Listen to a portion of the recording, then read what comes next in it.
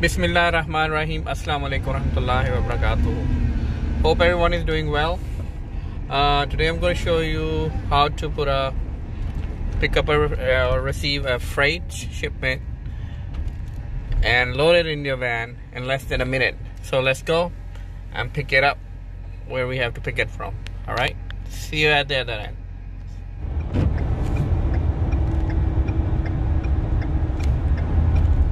Got the freight on Lufthansa Airlines.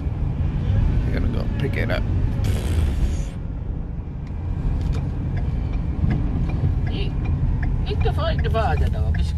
Mm-hmm. Alhamdulillah, I received my shipment. Now I'm gonna take it home. Thank you for watching. If you like this video, share it with your friends and family members. Take care. Until next video. Assalamu alaikum